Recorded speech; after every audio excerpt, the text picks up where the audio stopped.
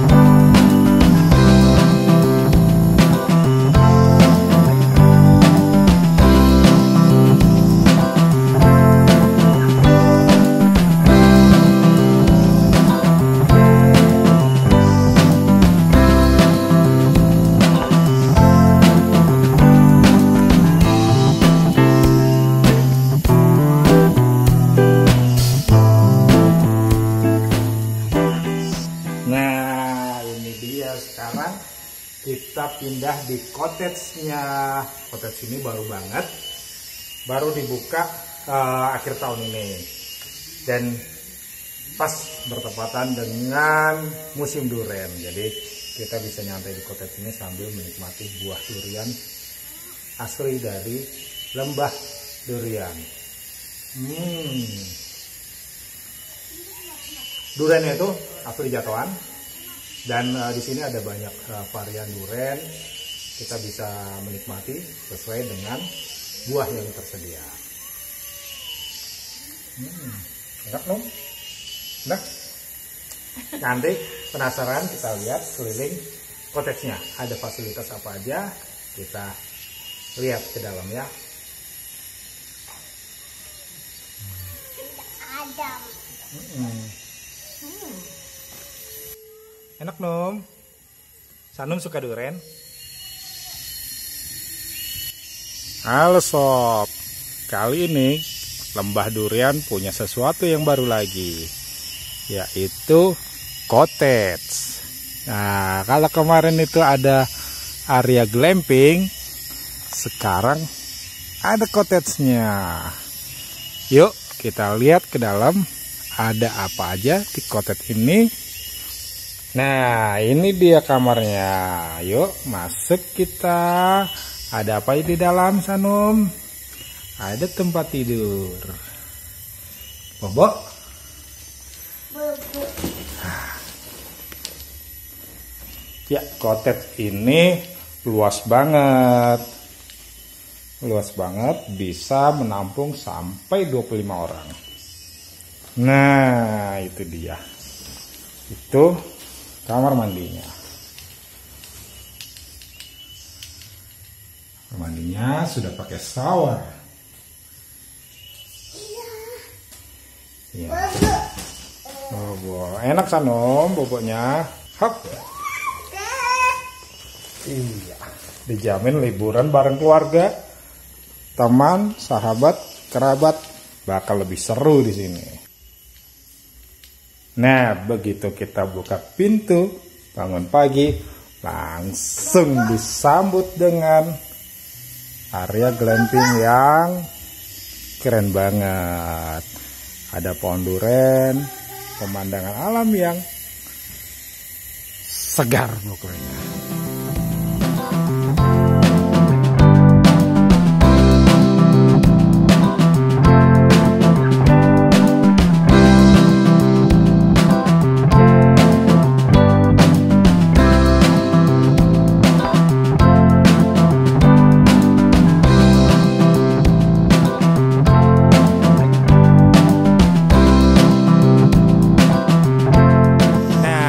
Dia fasilitas lainnya yaitu dapur dan ruang makan.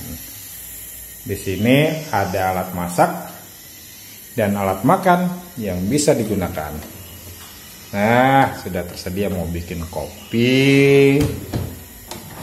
Ada gelasnya, ada sendok, ya seneng ya. Sendok. Ayo tutup lagi. Kita lihat yang di bawah ada apa. Di bawah ada alat masaknya buat ngiris-ngiris. Kita lihat yang bawah lagi. Alat masak, ada piring dan pemanas air. Nah, di sini juga ada uh, kamar mandinya.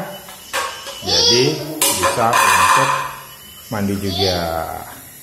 Lalu ada meja makan untuk bersantai sambil sarapan dan memandang keluar sana.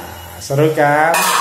Nah, selain itu juga bisa sambil makan durian kayak kita tadi. Hmm. Ini durian asli dari sini. Keren banget kan? Nah, kotetnya ini dibanderol dengan harga 3 juta rupiah per malam untuk kapasitas sekitar 25 orang. Fasilitas yang didapat selain yang tadi itu juga ada sarapan pagi. Nah, lalu ada satu kamar lagi. Ini dia. Ah, cocok banget nih buat bulan madu di sini. Ajak keluarga untuk menginap di sini. Ini kamar mandinya.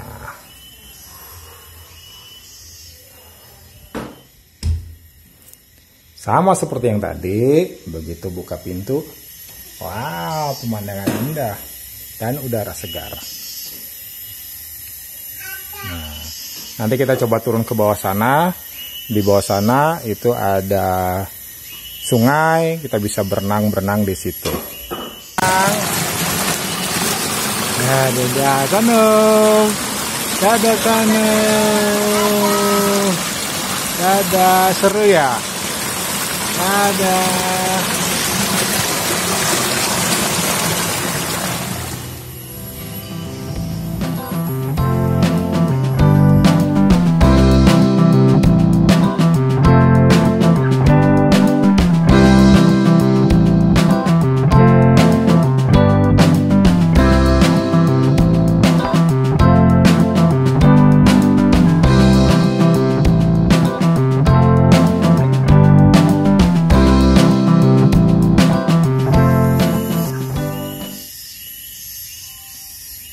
Nah, ini area glampingnya sob. Untuk uh, informasi mengenai glamping ini, sobat bisa lihat di video kami sebelumnya.